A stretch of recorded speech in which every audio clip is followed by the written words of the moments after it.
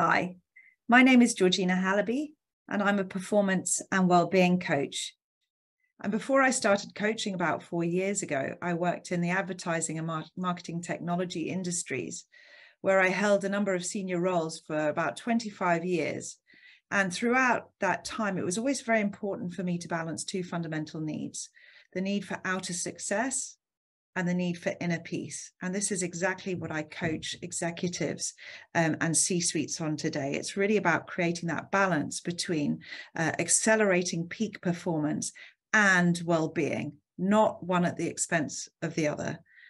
And so today I'm delighted to be here talking to you about manifesting your goals. And before I jump into this, I'd love to explain a little bit about how it works. So when we look at chaos theory, the understanding of weather patterns and how things like a small butterfly, the flap of a butterfly's wing in Texas, can create a tornado in Brazil. What they started to understand was sometimes small changes to inputs can have huge changes to outputs. And they wanted to understand how and why this happened. So, this is how and where chaos theory was born they started to understand that complex systems can actually have very, very simple causes. And in reverse, simple patterns can also be found amidst chaos. So, how and where does that apply to us? So, I want you to imagine that you're standing at the top of a busy train station, looking down from a balcony, and there's just a flood of people in front of you. It looks like absolute chaos and completely random just a, a whole load of flowing people like data points. And then you start to notice that there's a coffee cart and a ticketing booth, and people are actually congregating around both the ticketing cart and the coffee booth. So the ticketing cart and the top coffee booth are actually something that we called strange attractors, actually pulling in people uh, around them so that you're creating this uh, patterns, simple patterns amid the chaos. And in the same way, when we start to look at strange attractors and how they work in our own life, what we put our conscious attention on, such as our interests, our values, our beliefs, and intentions, these become strange attractors too, because our brain takes in a whole multitude of data all of the time, a barrage of data, and we filter it through our awareness and we only pull through stuff that is of interest to us based on our interests, values, our beliefs, and intentions that then gets served up to our conscious attention. So we're constantly sifting out from the information based on these strange attractors to us. And when you think of it that way, then we're actually looking at the filters that we apply in everyday life we can understand that we choose the reality that is relevant to us and we filter it through our interests, values, beliefs, and intentions. And this leads me on to my first tip that I want to share with you. And the first one is be intentional. When we're intentional, we're actually instructing our brain to go and sift through and find all of the relevant information, opportunities, and synchronicities that will get us to where we want to be. So, for example, if you've just had a child and you notice all of a sudden that everybody's got a pram, everybody's got babies, or you just buy a red car, suddenly everybody's got red cars. It's not because all of a sudden everybody's gone and had babies in that last moment and got red cars. It's just that you're actually starting to notice it.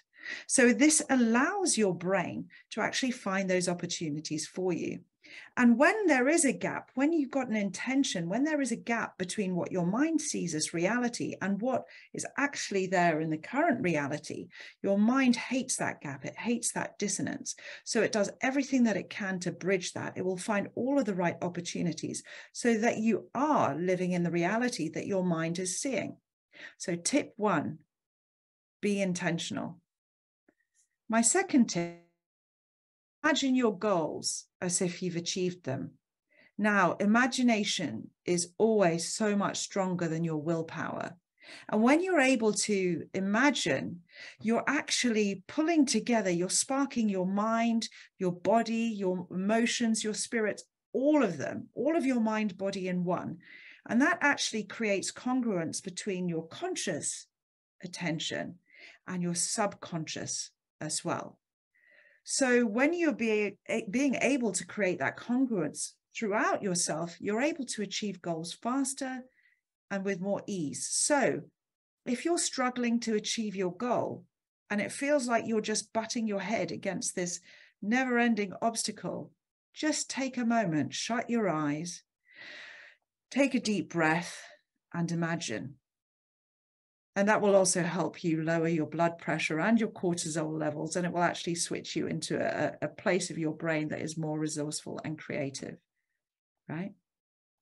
My third tip is to focus on the being, not the doing.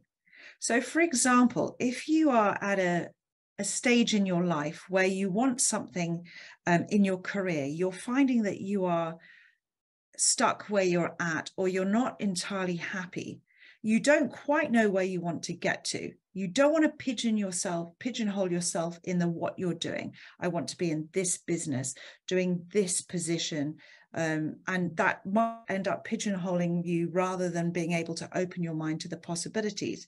So focus on the being, how it would actually feel within you, and then use that to harness your imagination from. So, for example, how would your life look? Imagine how would you feel in that moment? How would you be showing up?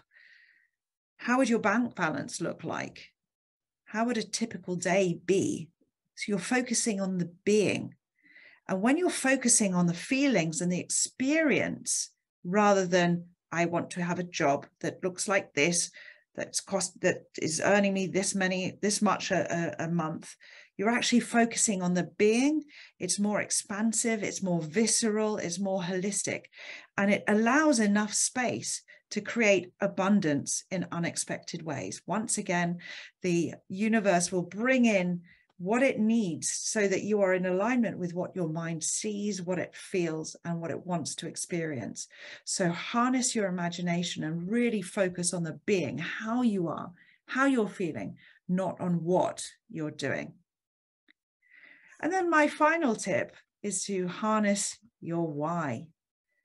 Now, I love this saying a life without purpose is just aimlessly doing stuff. And we each have a purpose in life. We each have a why.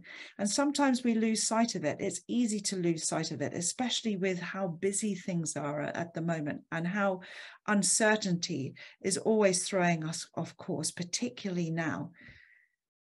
Life may not always hand you the map that you expect, but when you're able to harness your why, this will be your North Star. It will always keep you honed in on the right direction you want to go to, whatever the path you end up taking, whatever the vagaries.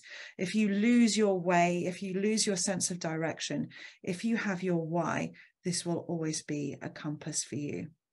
So I hope this is of use to you as you start to manifest your goals once again, be intentional, really imagine them viscerally, imagining how you're feeling and really harness your why.